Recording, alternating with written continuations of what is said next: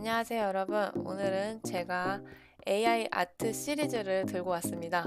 네, 이거에 대해서 얘기를 하려고 꽤 오랫동안 준비를 했어요. 자 그래가지고 오늘은 AI 아트 중에서도 미드저니 AI에 대해서 알아볼 겁니다. 네, 요즘 굉장히 그 AI 아트가 핫해요. AI 일러스트가 굉장히 핫해가지고 어, 이곳저곳에 이제 홈페이지들 가셔서 이제 웹서핑을 하다 보면 엄청 훌륭하게 뭔가 사람이 그린 듯한 엄청 잘 그린 되게 유명한 일러스트레이터가 그린 듯한 그림이 있는데 AI가 그렸다. 뭐 이런 이런 얘기가 있고 또 어떤 그 작품은 굉장히 그 창의적으로 훌륭해서 마치 그 사람의 그런 창의성을 모방을 한다기보다 모방 그 뭔가 그 모방 그 너머 약간 그런 느낌. 그러니까 인간을 막 거의 능가할 정도로 아, 그 AI 아티스트다 막 이런 식으로 이제 지금 얘기가 나오고 있는데 어.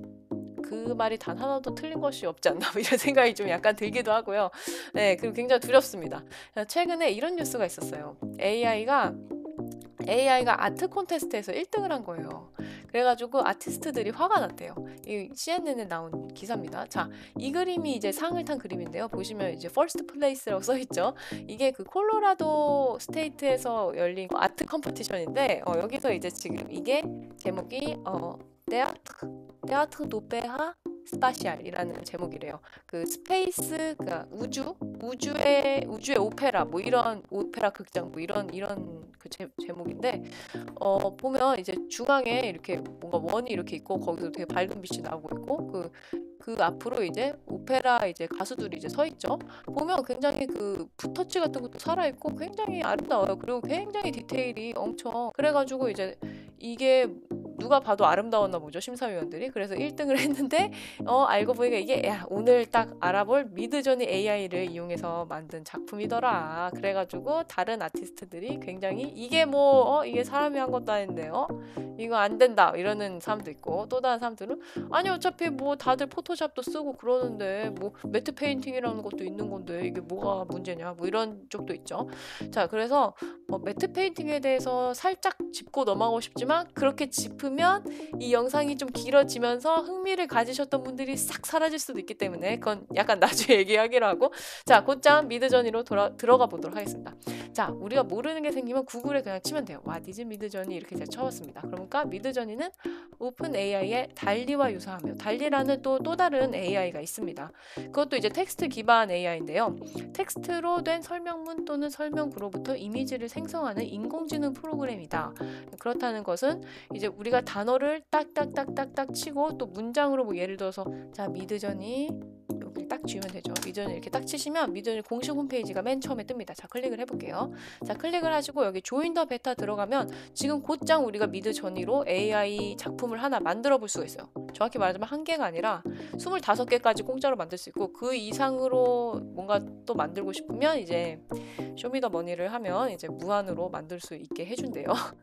얼마였더라? 뭐 한 달에 이것도 무슨 그 월별 정액제도인데 한 달에 30유로, 30달러인가? 뭐 하여튼 그랬던 것 같아요. 보도록 하겠습니다. 자, Join the Beta 클릭을 하시고, 딱 클릭을 하시면 Join the Beta가 자동적으로 요, 요 화면이 딱 나와요. 초대 수락하기 눌러주시면 이 Discord 앱이 아니라 그 웹에서, 앱에, 앱에서 되려나? 앱에서는 안 해봤어요. 근데 웹, 웹으로 이제 딱 들어가서 웹에 이제 우리가, 어, 그 할 수 있는 그 룸이 있습니다. 보시면 여기 newcomer room 있죠. 여기 77번, 27번, 47번 아무 데나 들어가셔가지고 여기서 이제 시작을 하시면 돼요.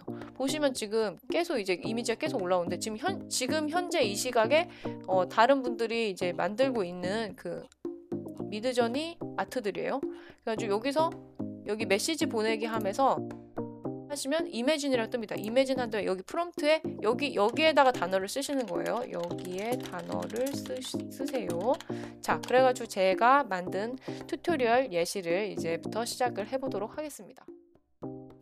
자, 슬래시 imagine 하신 다음에 프롬프트에 이제 단어를 쓰시는 거예요. cinematic 뭐 어쩌고 하다가 이제 제가 결정한 거는 이제 천국의 문 뭐 그런 거랑 뭐 엔젤들이 있고 판타지 아트 뭐 이런 식으로 썼어요. 보통 이렇게 천국, 하늘, 지옥, 뭐 악마, 천사 이런 거 치면 어 굉장히 그 예상 가능한 어 이미지 안에서 미드저니가 아주 멋있는 이미지를 보통 뽑아내더라고요 한 번에. 네 그리고 엔터를 치는 순간 이제 어디론가 사라졌을 거예요. 약간 스크롤 위로 하시면 네 이런 식으로 네 지금 제 거를 찾았죠 냥냥이. 네 못 찾으셨을 경우는 저기 멘션에서 찾아도 되니까 뭐 걱정하지 마시고 지금 이 속도 지금 12% 됐죠. 이 속도가 지금 편집 없이 어, 진짜 속도거든요. 그래서 이 정도로 진행이 된다. 이 정도 속도로 31%자 이제 컷해서 93%로 넘어갔습니다. 그래서 완성이 딱 되는 순간 또 올라가요. 여기 지금 채팅방에 사람들이 계속 이미지를 만들고 있어가지고 금방 슉 올라가거든요. 근데 이제 뭐 당황하지 마시고 스크롤 위로 올리시던가 아니면 멘션 으로 찾으시면 됩니다. 네, 이렇게 4개의 시안이 1분도 안 되는 시간에 완성이 되었습니다. 왼쪽 상단부터 1, 2, 3, 4번인데요. 저는 여기서 2번을 선택하도록 하겠습니다. 채팅방에서 보시면 이렇게 아까 말씀드린 순서대로 선택을 하시면 되고요. 그래서 예를 들어서 3번을 하시는 분은 U3를 선택을 하셔야겠죠. 근데 저는 2번을 선택했으니까 U2를 클릭을 할 겁니다.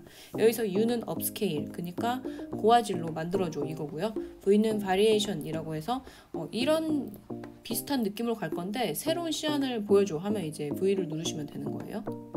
네, 그렇게 되면 이제 미드 전이가 연산을 해가지고 이미지를 고화질로 만드는 작업을 하게 됩니다. 네, 저의 에인젤은 어디로 갔을까요? 제가 분명히 에인젤이라 썼는데 구름만 가득하죠. 자, 이렇게 해서 네, 이것이 바로 완성본입니다. 네, 여러분 이렇게 저희 네, AI 아트가 완성이 되었습니다. 짝짝짝. 네. 거의 2분, 2, 3분 정도만 걸려가지고 완성된 이제 그림이고요. 네, 실제로 이런 그림 그리려면 어, 꽤 오랫동안 공부해야 그릴 수 있는 그림인데, 네, 이렇게 2분 만에 뚝딱 그것도 무료로 얻었다는 것이 굉장히 이제 사람한테 현타가 오는 네, 아티스트라면 좀 한 번쯤 현타 올 수 있는 그런 것이 아닐까라고 생각이 듭니다. 네, 그리고 여기서는 다루지 않았지만 variation 같은 버튼 같은 경우도 굉장히 재밌어요. 이제 variation 누르면 이제 계속 그 관련된 이미지를 바리를 쳐주거든요. 그리고 또 이제 또 다른 거는 이제 제가 지금 여기 에인절이 없다고 투덜댔는데 에인절을 넣을 수 있는 방법이 있습니다. 네, 심지어 이제 그 에인절을 어떤 그림체로 넣어달라고까지 지정을 할 수가 있어요. 그거 이제 미드전에 있는 기능인데 그것까지는 이제 제가 어, 오늘 튜토리얼에서는 다루지 않았습니다. 네, 이렇게 미드저니 튜토리얼은 여기서 완료를 하도록 하고요.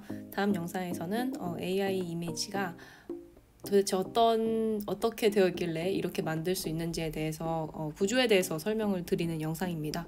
네, 그럼 다음 영상에서 뵙겠습니다, 여러분. 빠이.